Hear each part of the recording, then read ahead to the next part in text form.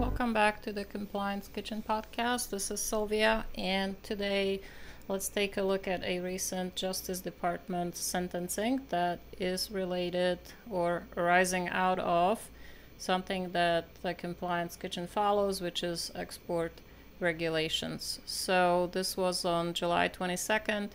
Uh, 2021, the DOJ issued a release of a sentencing of a California man who received more than five years in prison for his role to illegally export integrated circuits with military applications to China. As part of his sentence, the judge ordered him to pay in excess of 362,000 in restitution to the IRS and fined him $300,000. So more in detail uh, on what uh, took place here, the release explained that the defendant was convicted to uh, one count of conspiracy to violate the International Emergency Economic Powers Act and the Export Administration Regulations, or EAR. And also, uh, he was convicted of four counts of mail fraud, two counts of wire fraud, one count of conspiracy to gain unauthorized access to a protected computer to obtain information, and uh, one count of making false statements to an FBI agent, three counts of subscribing to a false tax return, and four counts of making false statements to the IRS about his foreign assets.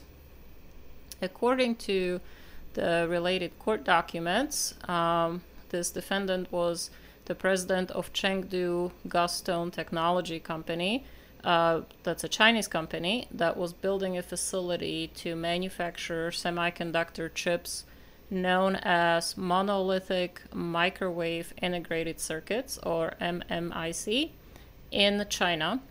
The MMIC chips have uh, both commercial and military applications.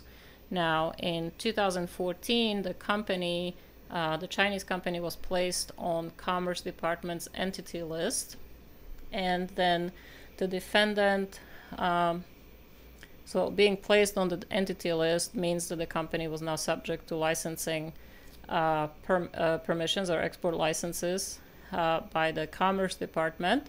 So then um, the president of the company and the defendant in this case defrauded a U.S. manufacturer of broadband high powered MMICs out of its confidential information uh, as well as proprietary business information. He, the defendant, accessed the manufacturer's web portal after he obtained access to the portal through an through an associate who posed as a domestic customer and claimed that he would be using the chips uh, domestically only uh, domestically, meaning in the within the U.S.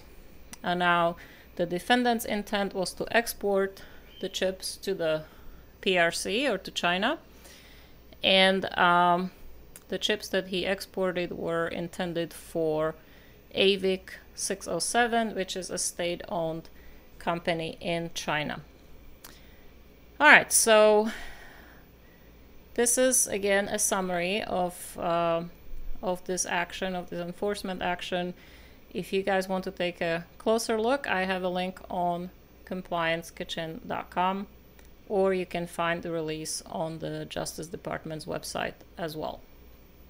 As usual, thanks for stopping by in the Compliance Kitchen.